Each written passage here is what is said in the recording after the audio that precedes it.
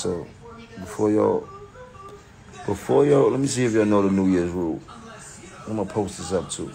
But before y'all run outside and get ready for the party and think you're gonna bring, nigga, clean your motherfucking house up from top to bottom.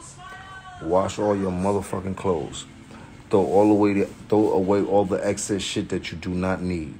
If you got some excess clothes, put them shits in a box and give them away. You heard? This is a new year. You gotta start off fresh and new. You heard? Go get you some new socks, some new underwears, some new t-shirts. You heard?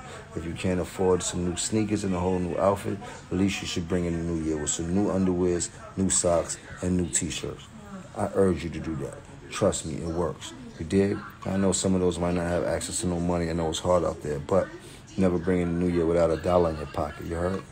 Make sure you got some money in your pocket when you bring in the new year. You heard? So you heard me. That's clean your motherfucking house up, do your laundry, get rid of everything that's old that you don't need. You heard? Make sure you got socks, underwears, t-shirts, brand new.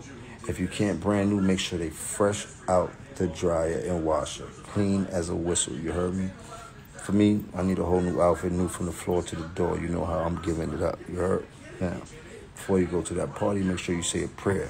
If you're in that party at 12 o'clock, stop and give yourself a couple of seconds to thank the Lord for letting you live to see a new year. Now, our tradition was to bring in New Year's in the church. I haven't been to the church for New Year's in a minute, but I always give my thanks at 12 o'clock.